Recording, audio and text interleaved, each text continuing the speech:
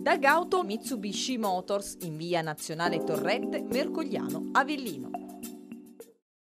A Natale e per sempre non lasciamo solo Luciano. Il caso del senza tetto avellinese che rischiava di morire nel degrado di un cantiere abbandonato dopo il drammatico SOS lanciato al nostro microfono è stato adottato da una pattuglia bipartisan di consiglieri comunali e tanti cittadini che con il sostegno della Caritas hanno allungato una rete di protezione per aiutarlo. Il senza tetto, che tra l'altro soffriva di gravi problemi di salute, è stato accolto da un centro dell'Interland napoletano dove sarà curato. I suoi amici e chi gli è stato vicino nei momenti difficili però non lo lascia solo. A Natale sarà anche il compleanno di Luciano. Per stargli vicino è stata resa disponibile una post pay intestata a Luciano Romagnuolo.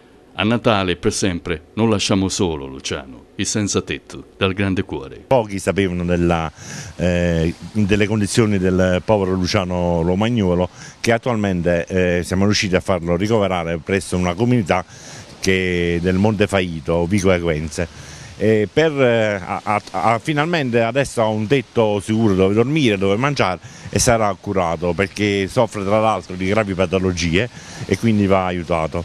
Abbiamo pensato di eh, lanciare questa post pay per Luciano eh, piccole donazioni da parte di chi vuole insomma, aiutare questa persona per le spese vive a lui non manca niente perché ha dove dormire, mangiare, però le spese vive, non so, il pacchetto di sigarette, deve comprare un maglioncino e quindi abbiamo lanciato questa eh, questione della post pay a fuori di Luciano Romagnolo.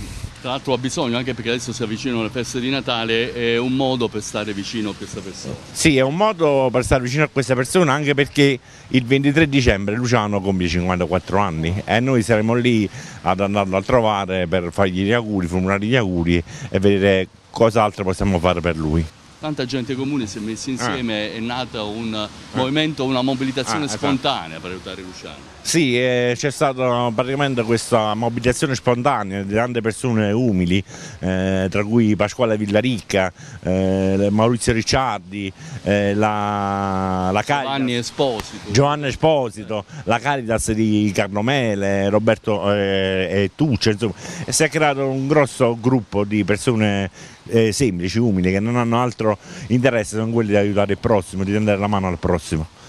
Salutaci Luciano. Ah, ovviamente eh, Luciano stai tranquillo, ti siamo vicini, hai preso un impegno con noi tutti che farai di tutto per, eh, per riprenderti dal tuo stato e ti aspettiamo qui ad Avellino perché il tuo pane lo desiderano in molti. Ti ricordo che sei un ottimo eh, panettiere.